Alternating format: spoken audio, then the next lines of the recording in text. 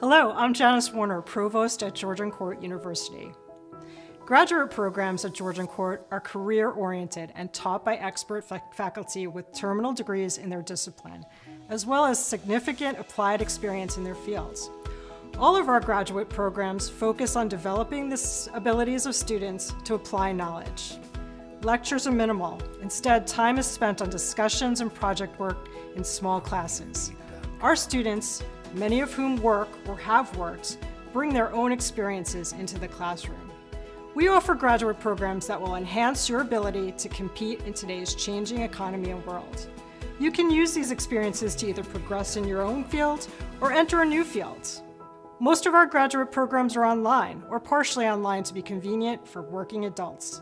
Likewise, our extensive library collection and knowledgeable research librarians are accessible online, and should you need support with writing, our Writing Center is available to graduate students, an atypical but beneficial service Georgian Court provides to help students develop critical professional writing skills. Also unique to graduate education at Georgian Court are international faculty-led study, study abroad programs. Finally, some graduate assistantships are available applications and interviews are required. Education has always been a signature set of programs at Georgian Court. Our graduates and certification earners are teachers, counselors, and administrators throughout New Jersey. We know that educators believe in lifelong learning. Continue your education with our experienced faculty by adding a certification, an endorsement, or a master's degree. The list of what we offer is long, but each one can lead you to take the next step in your career. For convenience, our graduate education programs are offered online as well as throughout New Jersey.